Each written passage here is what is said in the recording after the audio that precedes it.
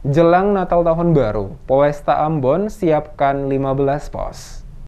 Guna memastikan perayaan Natal dan Tahun Baru di Kota Ambon berjalan aman dan lancar dengan tetap mengedepankan protokol kesehatan, pihak Polresta Ambon mendirikan pos pada 15 titik yang tersebar di wilayah hukum Polresta Ambon. Kapolresta Pulau Ambon dan Pulau-Pulau Lease Leo Surya Nugraha Simatupang saat memberikan keterangan pada sejumlah wartawan di depan tribun lapangan Merdeka Ambon beberapa waktu lalu menjelaskan ada penambahan pos yang didirikan oleh pihaknya di mana pada tahun lalu 7 pos dan untuk tahun ini 15 pos. 15 pos tersebut terdiri dari 9 pos pengamanan, 4 pos pelayanan, dan 2 pos terpadu. Khusus untuk pos pengamanan kata Simatupang, terdapat pada beberapa lokasi yang dianggap rawan, di antaranya Air Salobar, Batu Gantung, Pasar Mardika, dan JMP Poka, serta beberapa pos berada pada lokasi lain. Sementara untuk pos pelayanan didirikan pada JMP Galala, ACC, Pelabuhan Hunimua, Pelabuhan Hurnala, dan Pulau-Pulau Lease, dan untuk pos terpadu didirikan pada lokasi Bandara Internasional Patimura dan Pelabuhan Yos Sudarso Ambon. Dikatakan Simatupang, dengan adanya penambahan jumlah pos pada perayaan Natal dan Tahun Baru kali ini, ada langkah antisipasi guna memastikan seluruh rangkaian kegiatan jelang dan juga pada saat Natal Tahun Baru semuanya dapat berjalan dengan aman dan lancar.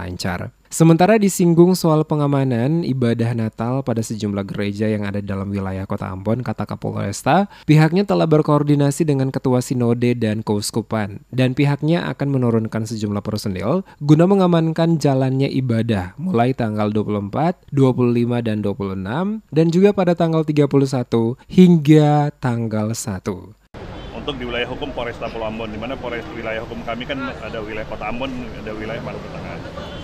Kemudian khusus untuk pengamanan gereja, kami juga ada berkoordinasi dengan Ketua Sinode, kemudian dan Uskupan ya terkait dengan plotting pengamanan. Kami akan menyiapkan personil untuk melakukan pengamanan untuk rangkaian kegiatan tanggal 24, 25 dan 26, kemudian tanggal 31 dan tanggal satunya.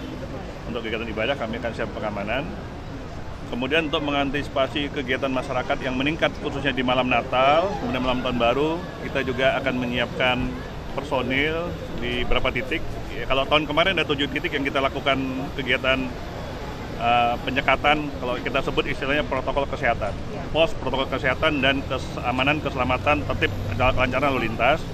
Ini kalau tahun kemarin ada tujuh titik, tahun ini kita ada 15 titik.